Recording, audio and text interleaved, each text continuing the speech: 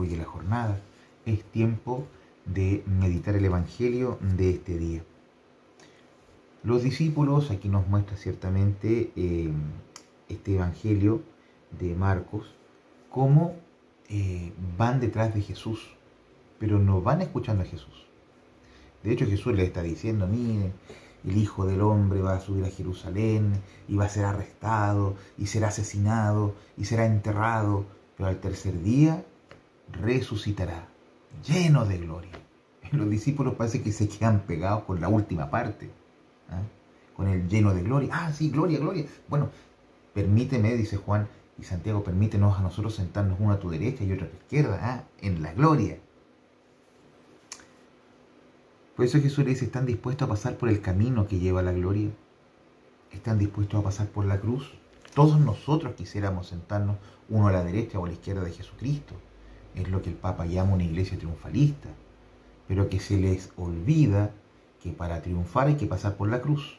Para resucitar hay que pasar por la cruz. Para el domingo de, gloria hay que pasar por el Viernes Santo. Y nadie quiere sufrir. Nadie quiere el dolor. ¿Por qué? Porque no, yo no. No, no, no, no.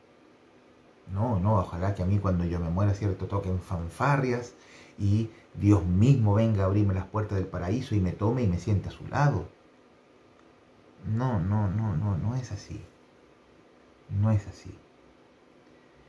Una iglesia, recordemos la historia de nuestra iglesia, que se basa precisamente en los mártires. Los mismos discípulos fueron martirizados las primeras generaciones de cristianos fueron martirizados y hasta el día de hoy hay cristianos mártires.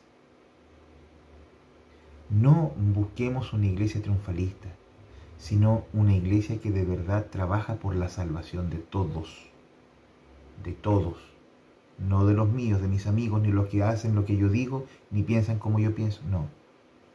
Una iglesia que busca la salvación de todos.